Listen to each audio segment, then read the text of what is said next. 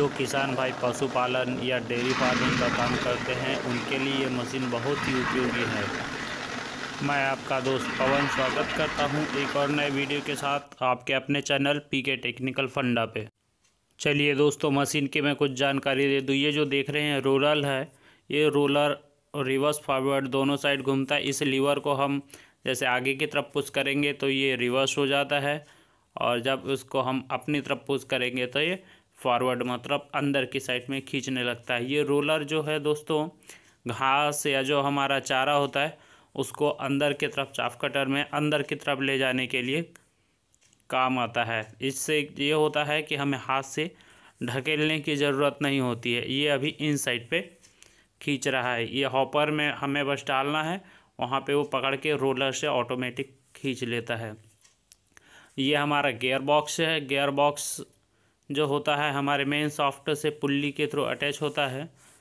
और यहाँ पे जो है चैन पुल्ली लगी हुई है, उसमें यहाँ पर वो हमारे गेयर बॉक्स को घुमाता है। वहीं से जो है, वो दोनों रोलर चलते हैं। और ये हमारी मेन पुल्ली है। मेन पुल्ली हमारे मोटर से अटैच होती है बेल्ट के थ्रू वी बेल्ट से अटैच होती है, जैसे कि आप देख पा रहे हैं। और ये हमारे दो कनेक्टिंग सॉफ्ट हैं, जो गियर बॉक्स से हमारे रोलर को कनेक्ट करते हैं। ये हमारे रोलर को घुमाते हैं ताकि जो चारा है, वो हमारा हॉपर से हमारे कटिंग माउथ तक मतलब जो है वहाँ तक पहुँच जाए। तो अभी आप इसमें चाहे पाइनियर घास हो या जंगली घास हो, कोई सी भी घास हो, अभी हम जंगली घास काट रहे हैं इसमें। तो इसमें किसी भी प्रकार की घास हो, चाहे आपका हरा चारा हो, सूखा चारा हो, किसी भी तरीके की घास को ये काटने में सक्षम है। ये दोस्तों, खासकर जो डेयरी फ़ार्मिंग करते हैं या पशुपालन का काम करते हैं, जिनके पास में अधिक मात्रा में गाय, बैल, भैंस हैं, उनको चारे की काफ़ी दिक्कत होती है या जो चारा होता है, सैगा खिलाने से जो पशु हैं, खाते नहीं हैं। तो उसको हम इस मशीन में चॉपिंग करके बारीक बारीक काट के इस प्रकार से बारीक काटने के बाद में हम इसमें दाना मिला के या तो फिर इसमें कोढ़ा मिला के हम ऐसे ही खिला सकते हैं। ये अभी परफेक्ट खिलाने लायक कट चुका है। ये पाइनियर घास और जंगली घास का मिक्स कर रहे हैं इसमें। ये अभी हम पाइनियर घास इसमें चला रहे हैं।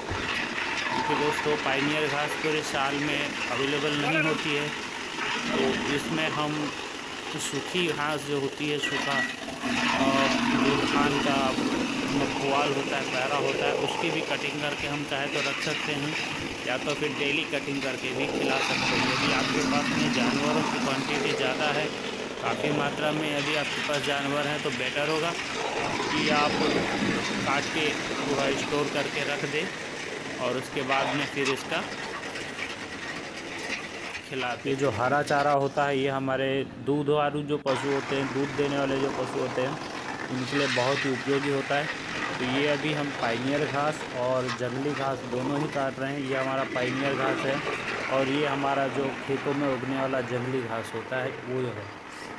तो इसी प्रकार से हम इसका मिक्स करके खिलाएँ। तो दोस्तों हमारे जो चारे की लागत है वो थोड़ी कम आ जाती है। और प्रोडक्शन अच्छा आता है।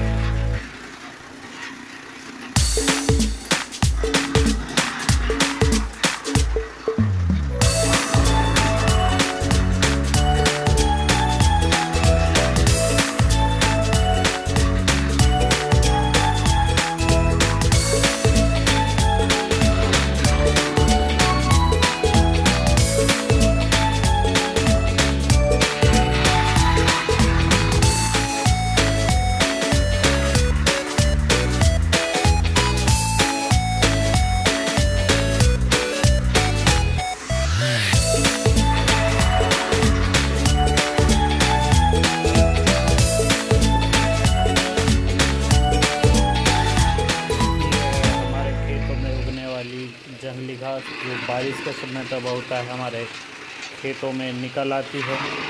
इसका भी कटिंग करके हम खिला सकते हैं। ये भी बहुत अच्छे तरीके से पोषण का काम करती है।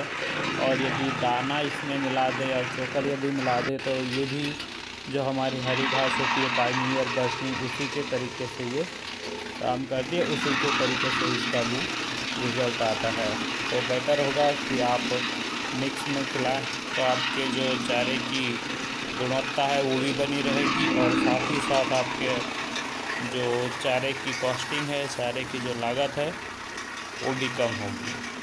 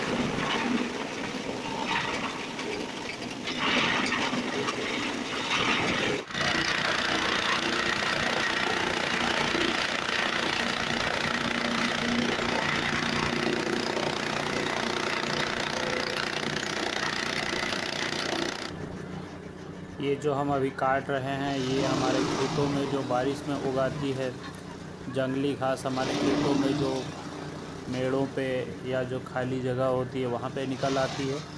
उसको हम कटिंग कर रहे हैं। उसकी भी कटिंग करके इसी में मिक्स कर देते हैं, जिससे कि फिर जो हमारे पशु हैं, इसे भी बहुत आसानी से खा लेते हैं।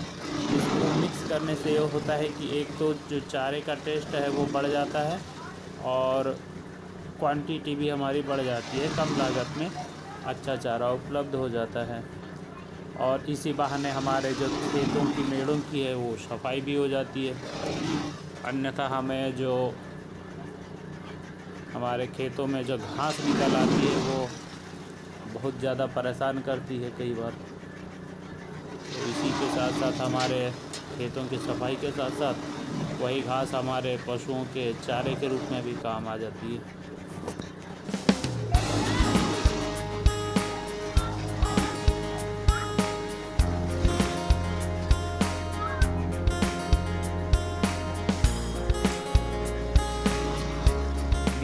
हमारे चैनल पे नए हैं और अभी तक हमारे चैनल को सब्सक्राइब नहीं किया है तो वीडियो के नीचे जो रेड कलर का सब्सक्राइब बटन दिख रहा है, उसे दबा के साइड में घंटी जैसे दिख रहा है, बेल आइकन को भी दबा दें। नोटिफिकेशन आपको मिलते रहे। आज की वीडियो यहीं समाप्त करते हैं।